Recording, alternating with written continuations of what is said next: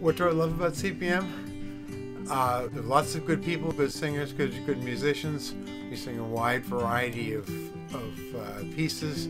It's fun singing major pieces that we could never put on our, our ourselves, like uh, you know, Mahler Second. But also, we, we get to do these little a cappella things, which first you think, why are we doing that? And then you sing it and you get it. It's fun.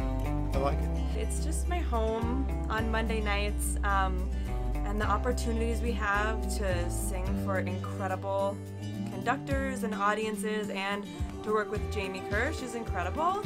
Um, I really love it. So the reason I really love Chorus Pro Musica is because it's a great way for experienced singers to uh, work together to create something totally brand new and unique.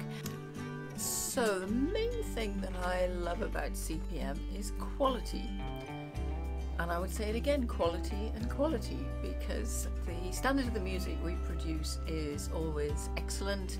Um, there are excellent singers in the group. It's great to feel part of something that produces something so wonderful. The CPM is a real opportunity for choral singers who are really dedicated and excited and invested in uh, just making some of the best music that they that they can in Boston. And we have an amazing conductor uh, who's always just so enthusiastic. And it's just for me, it's just the highlight of my week.